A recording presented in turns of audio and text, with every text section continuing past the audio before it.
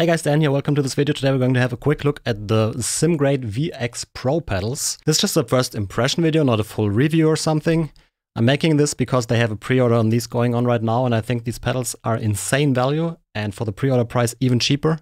SimGrade did send me the set to check out. I requested it early on when I saw the first renders because I thought, okay, at this price point, this could be absolutely insane. And it turns out it is. But yeah, first impression, I will post a full review of these in a few weeks after more extensive testing, but I quickly will talk about these. So the most interesting part for the video is probably the price because the pre-order price is 299 for the two pedal set and 435 for the three pedal set will be later 547 for three pedals and 399 for two pedals all these prices are plus taxes, but I can already tell you this is an insane deal and I think they are selling them way too cheap. I'll quickly talk a little bit about the pedals. We'll start with the throttle. This is actually not a travel measuring throttle, it's a load measuring throttle. That brings the disadvantage that it's slightly progressive with this design, but you can just linearize it in software. That's not a big deal. Just put a logarithmic curve on it and it feels like any other throttle in the world. We do have medium throw on the throttle. If you like a throttle pedal with a ton of travel, these might not be for you. But I would say they are around about in the midfield of all the pedals that I've tried. This is the maximum throw here that I can do. And it uses a very clever design because if you look at the back here, they use bearings that pretty much slide on top of the load cell. And by that, the bearings push on the load cell and that's how it generates the signal.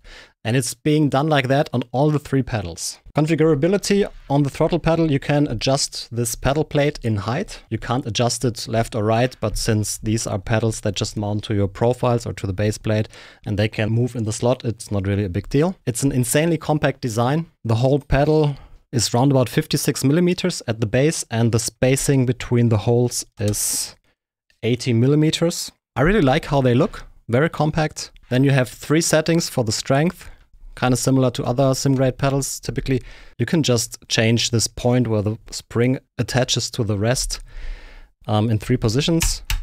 This is the weakest. I mean, this is so weak. I would not recommend to use it.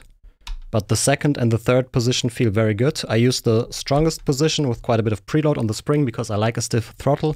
I measured these at about 7.5 to 8 kilogram of pedal pressure in the stiffest setting. The production version will probably be even a little stronger because you can apply slightly more preload on the spring, but this is perfectly fine as it is. Then the brake uses a similar principle. As you can see, the bearings here in the bottom that slide on top of the load cell, and that's how they generate the signal. I cannot push it with my hand, but I'll show you some b-roll how it works. It's very interesting because you can really see how the load cell deflects and generates the signal like that. Adjustability, preload for the spring, and force setting where the spring attaches to this arm thingy. To change it, very easy, remove the preload of the spring, and then you can put it in this position. This is the brick wall position. If you like a very, very stiff pedal, you barely get any pedal travel on this. I don't like it. I actually like the softest or the second softest position. So to change it, just put it in this position and then add some preload to the spring. Secure it with the second nut and you're good to go. The brake feels insanely good. It feels as good as the best brakes that I've reviewed here on the channel. The brake also has a two-stage system. They don't really advertise it very actively, but there are spacers within the spring where you can determine when you hit that second stage. You can see it very nice on the pedal cam here. And after you hit that stage where the pedal pretty much doesn't move anymore, you still get inputs after that because the load cell still deflects more. By the way, the flex that you see, it's not the pedals, it's actually my Trak Racer pedal plate. It looks bad on the video, but you don't ever notice that while you're actually driving. But hey, we're all sim racer, it flexes, oh my god, unusable. No, it's perfectly fine. The brake does not come with extra springs. SimGrade is thinking about offering extra springs, blue and red, a softer and a stronger one, maybe. I don't even know. I don't think it's needed. The yellow spring covers from relatively soft to insanely stiff. I don't think there's any need for that, but there might be a kit in the future. Not a crazy amount of adjustability, but I think for the price it's more than good enough. Then on the clutch, again, similar stuff. You can adjust the pedal face in height. You have two positions for the strength setting pretty much. And something that is very genius on the clutch, I can't really push it with my hands, but you can see this, this little metal plate in the bottom here, uh, actually here. And that pretty much determines how the bite point feels. And you can adjust this forward and backward to basically determine where the bite point nonlinearity will happen. They also give you different plates for different feeling clutch bite points. I think it's a genius idea.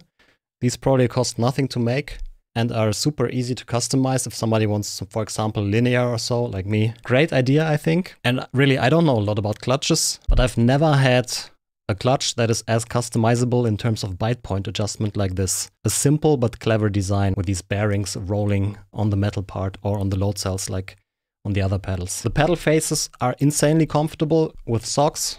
With shoes, there's still enough grip. You can adjust them in height by loosening these two bolts here and then move it up down. Very nice, even though the default position has been fine for me. There are two add-ons that you can buy. There are these side support brackets for 23 euros plus taxes that just attach to the rear here and then is pretty much an end stop for your foot. Very nice, I really like those. And another thing that you probably know from the dentist chair, the R7 pedals from SimGrade, are these, how do they call them? Tilting heel plates.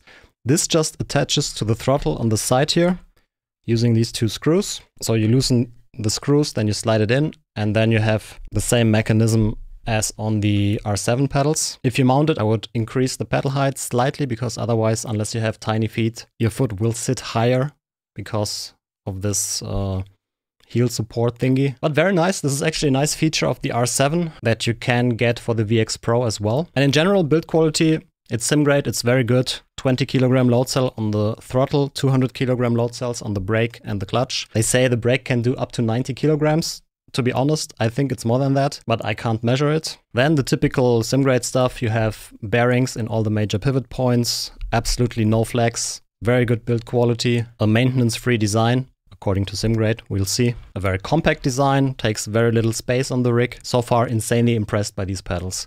The brake feels amazing, especially in the softer settings. It has a nice progressive feel to it and definitely compares to the best brakes that I've tried on the channel so far. So you probably think 299, they must be made in China. No, they are actually made in Finland as well. No idea how they give you this price. The software the same as in the Terra in true sim racing fashion. It looks like from 1980, uh, but at least it's purple and it does everything that you need the software to do.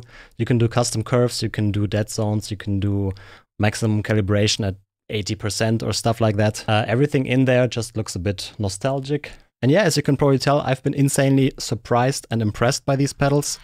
The price is way too low for what they do. The brake is amazing, the throttle is really good after I adjusted it with a logarithmic curve. They have a pre-order price till this Friday, I think. And if you're looking for pedals, you don't want to break the bank, pre-order these, honestly. If there are no surprises during the longer testing, I will post a full review. I don't see how anybody can compare with these pedals at this price, to be honest. Amazing job by SimGrade. The links in the description are no affiliate links. I don't get anything if you buy these pedals. I just wanted to put out this video because it's an amazing product. You can save at least 100 euros if you pre-order and if you're looking for pedals, check these out. But yeah, that's pretty much it for the video. Just short impression video of the VX Pro. If you don't want to miss the full review, make sure to subscribe to the channel, maybe give the video a like, and I hope to see you all in the next one. Bye bye.